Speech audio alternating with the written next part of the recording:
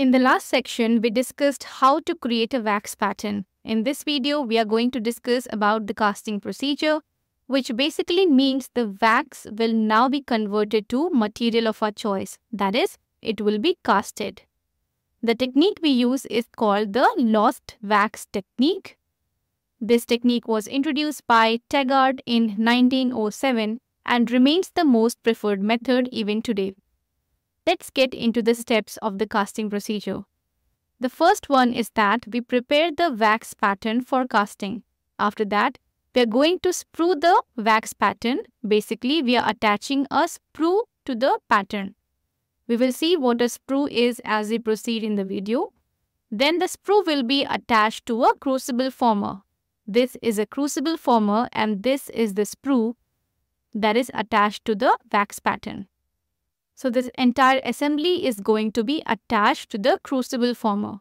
After this, we are going to invest the pattern in a casting ring.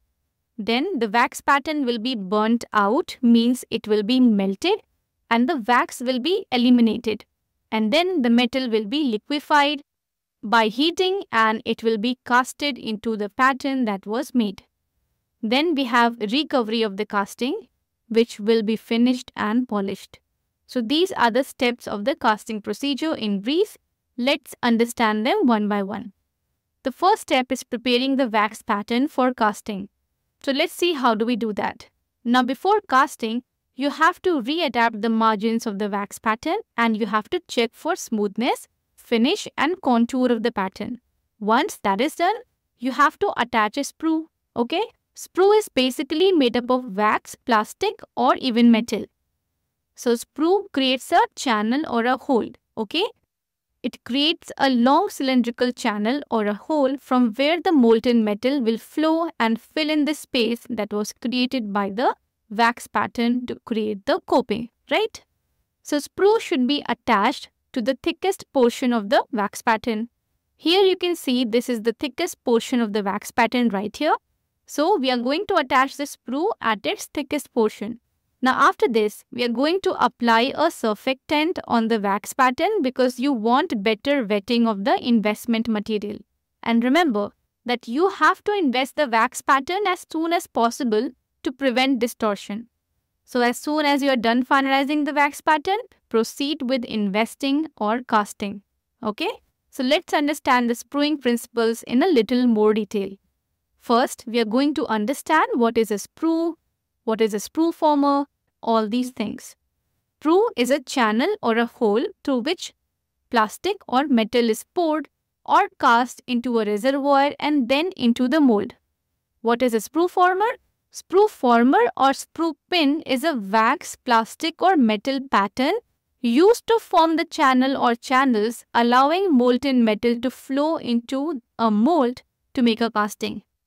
So sprue former is that material which is used to make that hole, okay? But sprue is just referring to the hole or a channel. So a sprue design needs to have certain features. The first one is that it should allow the molten wax to escape efficiently. It should ensure smooth flow of the molten metal with minimum turbulence. And it should act as a reservoir to compensate for shrinkage during solidification. As we discussed, there are various materials used to make sprues. We have wax sprues, plastic sprues, metal sprues. Wax sprues are preferred for most castings due to similar thermal expansion as the wax pattern and easy burnout. Plastic sprues are more rigid and resistant to distortion but may cause casting roughness if not properly vented. Then coming to metal sprues. They are non-rusting and often hollow to increase the surface contact but need careful removal before casting. So obviously metal sprues, you cannot melt that easily, right? So we already have a hole in the metal sprues that creates the channel. Now coming to sprue diameter. Now the diameter of the sprue as you can see in this diagram, it should be larger than the thickest portion of the pattern. This is the thickest portion of the pattern and this is the diameter of sprue right here. The diameter of the sprue should be larger than the thickest portion of the pattern to prevent localized shrinkage porosity. To do what? To prevent localized shrinkage porosity. The recommended diameter is 2.5 mm for molar restoration and 2 mm for premolar restorations. Now let's see how do we position this sprue. We learned that we have to position it at the thickest portion. But how do you position it? Should you place it vertically? Horizontally? How? So you have to place the sprue at a 45 degree angle to the bulk of the pattern. The point of attachment should be flared. You can see the attachment of the sprue. The point where it attaches to the wax pattern should be flared to prevent turbulence during metal flow. We can also connect small extra sprues or vent. We call them auxiliary sprues to improve the casting as they form pathways for escape of gases. Now once you have attached the sprue to the wax pattern, we are going to attach this assembly to the crucible former. The sprue is attached to a rubber crucible former, creating a conical depression in the investment that aids metal flow during casting. Similarly, we need a conical hole in the casting where the metal can flow in and then enter the channel, the sprue channel, right? And then fill in the space of the wax pattern. So let's see the definition of a crucible former. Crucible former is the base to which the sprue former is attached while the wax pattern is being invested in refractory investment. It is a convex rubber, plastic or metal base that forms a concave depression or crucible in the refractory investment. Here you can see this is the end of our sprue. The free end of the sprue is attached to the tip of the crucible former like this and make sure we have the terminal end of the wax pattern approximately 6 mm from the free end of the investment so that the air can be easily escaped. Now coming to investing of the wax pattern. After we have attached the sprue to the crucible former, we are going to invest it. We will place the wax pattern in the casting ring and coat it with the investment material. What is a casting ring? By definition, it is the inferior portion of the refractory flask you can see this is the inferior portion of the refractory flask that provides a negative likeness or dimple into which a metal is cast in the refractory investment. You have to take the investment material and mix it according to the instructions given by the manufacturer. Now here remember that you have to coat the wax pattern with a surface tension reducing agent or a surfactant because you want to improve the wetting of the investment or we call it debubblizer. The debubblizer is composed of 1 to 5% glycerol. This can be a Viva question. The question is, which investment material should you choose? So it is based on the type of alloy or metal we are going to use. We know that gypsum bonded material shows hygroscopic expansion, while phosphate bonded shows thermal expansion. So for base metal, use phosphate bonded and for high noble alloys, use gypsum bonded investment. Ring liners can be used.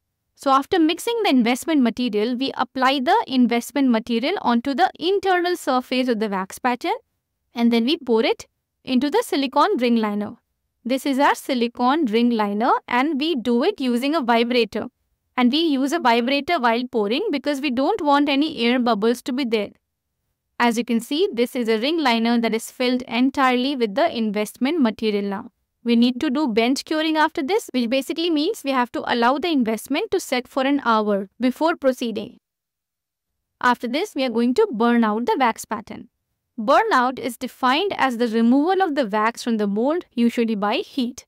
What happens is, when you burn out wax, the temperature is so high that the wax does not melt but it directly evaporates into gases and through the pores of the investment it is going to escape out.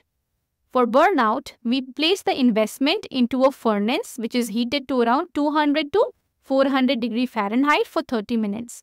After this, we have to reheat the investment to an increased temperature that is 650 to 1200 degree Fahrenheit for 45 minutes because we want to eliminate the traces of wax that is left. Important to note here is that we cannot heat gypsum bonded investment material beyond 650 degrees centigrade because the investment may disintegrate and will form components that will discolor the casting and that component is sulfur dioxide. So remember, sulfur dioxide is formed if you heat it beyond 650 degree and it will discolor the casting. Okay. Now coming to casting, the first step is that we have to set up the casting machine. Then we have to preheat the crucible. we have to weigh the alloy and then we have to finally cast the alloy. Let's see how do we set up the casting machine. Here you can see we have a picture of the centrifugal casting machine.